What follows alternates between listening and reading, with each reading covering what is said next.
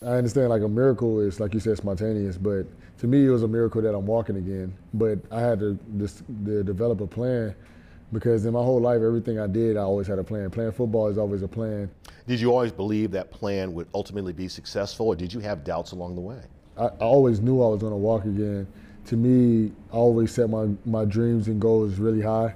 And if I don't hit them, I, I knew I hit a few on the way. You had a moment in February of 2020 where I think, according to your book, the emotions finally took over and you, you really started to get down about what was taking place. After uh, a few years, it's really started to, to eat at me and bite at me. And, and I'm just really thankful for the people I had around me to help push me through this moment. Uh, the city of Pittsburgh, I, I found some of my closest friends that I, I haven't had when I was playing a game of football. And, and I have a lot of close friends when I play football, but I, I met someone, some more that I was able to lean on while I was playing as well. Can you describe how the Steelers, as an organization and a franchise, helped you? It's really easy to see somebody doing well and stay attached to them, but when they're doing bad, get disconnected.